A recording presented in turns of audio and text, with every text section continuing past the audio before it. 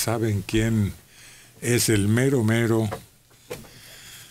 Porque tiene más ganancias por sus conciertos el año pasado. ¿Quién? ¿Quién? Luis Miguel. Ahí está. A ver.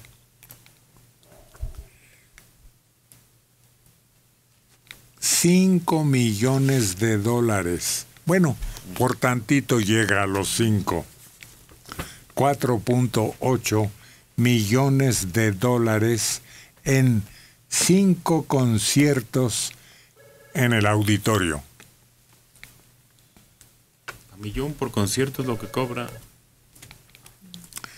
Entre los 200 conciertos más exitosos del mundo, se planta él. Pero ¿cuántos auditorios hizo? ¿30? Vayan haciendo cuentas. Nada más aquí. Nada más. Por eso no hay comparación, aunque discutamos y discutamos. Luis Miguel es el rey, sigue siéndolo y parece que no va a perder ni tantito empuje. Mm, Porque se murió Cornelio Reina. Lorenzo de Monteclaro. Estaban en su luna de miel. Él no había entrado al mar nunca. Ahora va. ¿Qué edad tiene? Recién casado. ¿Cuál es su mensaje? Y la primera vez que se metió al mar, falleció ahogado. Ahora vamos a preguntar. Qué final tan Buen día. Gracias. al estilo de Romeo y Julieta, pero fast track. 22 años en su luna de miel. Ahogado la primera vez que se metió al océano. Bueno, parece de plano relato fantástico. No, auténtico en Florida, en Estados Unidos.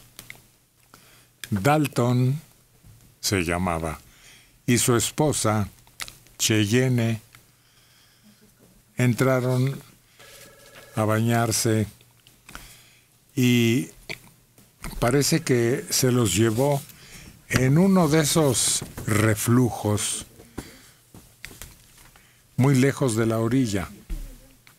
Iban en una tabla de surf que llaman y pues ahí lo rescataron, le aplicaron los procedimientos naturales, en este caso, pero no, ¿Cómo?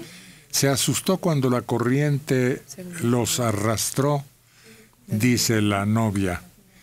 Y dice ella que él le contagió a ella del pánico, que por fortuna no murió. ¿Qué sucede. Se mueren nada más por el susto. ¿Cuál es su mensaje? Cometen errores. Aquí pasó en Veracruz hace poco igualito, igualito. ¿Te paraliza el miedo? El miedo te hace no poder reaccionar porque estaban sobre la tabla de surf. Pudieron ahí haber flotado, a lo mejor a la deriva, pero horas. A ver, esto es en Estados Unidos. Ya yendo a España, miren lo que pasó en España.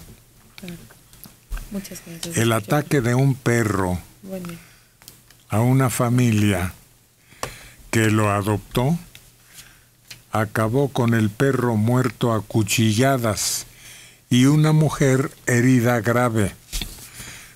Todo sucedió cuando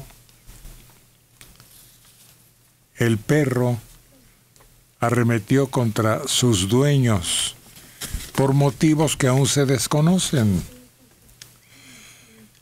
Según la información, poco después de la medianoche, empezó a morder violentamente a la madre de la familia, de unos 60 años, en un brazo, y después también se arrancó contra el esposo de la mujer de 65. En ese momento el hijo de 25 años que se dio cuenta tomó un puñal y mató al animal, acuchillado. Defensa propia. Y además malagradecido. Pues seguramente algún trastorno mental, ¿no? no todo fuera de, de lo regular. Sobre todo en un perro que es fiel, que es dócil, que es el mejor amigo, le califican del hombre, pero pues potencialmente peligroso en un ataque tal vez de desequilibrio, si es que tienen su cerebro como para sufrir esa causa. Pues dicen, ¿no? También los perros van al psicólogo, también pueden tener esos cambios de humor, su naturaleza, que de repente el instinto Sí. les surja. No lo sabemos, lo hemos visto con diferentes animales. Oye, una heredera de los Kennedy de 22 años de edad muere de sobredosis. 22 años y echó por la borda todo. Fama, fortuna, notoriedad histórica, todo a los 22 años lanzarlo por la borda. 22 años. Nieta del famoso político estadounidense Robert Kennedy, sobrina nieta del 35 presidente de Estados Unidos, John F. Kennedy. Murió ayer en la residencia familiar en Massachusetts por presunta sobredosis. Esto lo dice el New York Times. Parece que personas muy cercanas a la familia hicieron la revelación. Las autoridades notificaron de la muerte, pero no detallaron las causas del fallecimiento. Nuestros corazones están destrozados. Su vida estaba llena de esperanza, promesas y amor. ¿Le faltaría eso? Amor, compañía, construcción de un espíritu, escasez de de, Atención. de esa calidez que encuentras en un hogar. Pero pues es algo, una especie de plaga. Actores, actrices, gente del medio, aunque ella no lo era, pues siempre se drogan y terminan mal. No siempre y no todos. Sí, Claro. no todos caeríamos. Yo creo que sí hay una falta de, de amor y de, y de educación, de compañía de los papás, de vigilancia. Mucho dinero, además. Eso. Acceso ilimitado a las cantidades que quieras. El mundo es un poco menos hermoso hoy, dice un comunicado de la abuela viuda de Robert Kennedy que tiene 91 años de edad.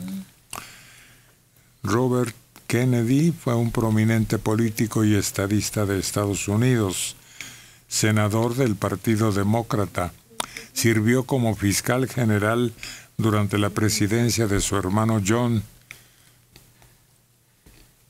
Fue asesinado cuatro años después durante su campaña presidencial.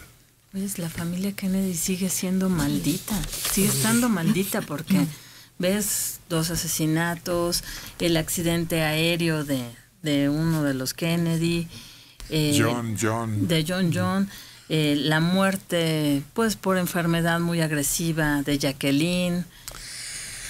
Había una mujer dentro de la familia a la que tuvieron que hacer víctima de lobotomía. Una de las eh, hermanas de John F. Kennedy. Era, era incontrolable, era muy relajante. Entonces la, el abuelo la mandó lobotomizar, que entonces era un procedimiento válido. A esta familia la comparaban con eh, un relato, ¿no? Muy popular.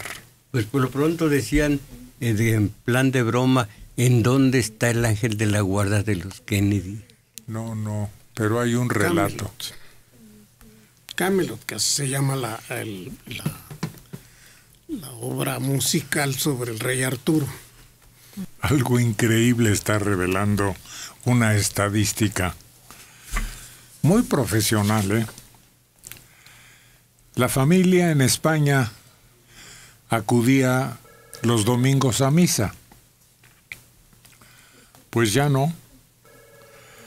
Así lo confirma este estudio que por primera vez constata que los ateos no creyentes y agnósticos superan a los católicos practicantes en España. En le- la católica por excelencia. ¿Cómo se llama? Hace rato, pero quién sabe, habrá que ver. Porque sigue habiendo católicos no practicantes. ¿Qué edad tiene? El que reza en su cama ya. Están incluidos también Por su lado, por favor. creyentes Escúchelo por su lado. no practicantes, Gracias. católicos no practicantes. Pero sí, aquí lo habíamos dicho. El club que más clientes pierde es la iglesia. y están Pues- surgiendo otras, que es lo peor. Ya después viene un análisis más profundo, más detallado. Pero por lo pronto es sorpresivo de veras. Es que en España, a lo largo de cuántos siglos, privó Y fue la que nos hizo a la fuerza católicos a nosotros. Y recuerden que fueron los católicos los que ganaron la guerra civil y mataron literalmente a buena parte de los no creyentes después de la guerra. pero los otros les habían fusilado hasta a santos de las iglesias. No, si la ferocidad de esa lucha civil fue Pareja. horrenda. Pero de un lado y de otro. Nada más que si son católicos. Eh, había, había toda suerte de católicos. Había comunistas del Sagrado Corazón. Ahí sorprende una acción en que se pusieron todos de acuerdo. Sacar los grandes tesoros para evitar que fueran víctimas de los bombardeos. Pero se pusieron de acuerdo católicos y no católicos. O digo, más bien republicanos y... Republicanos. Ajá. Y, y sobre todo pusieron a salvo, evitaron con mucho cuidado, con grandes trayectorias, convoyes completos de tesoros. Los tesoros del Museo del Prado.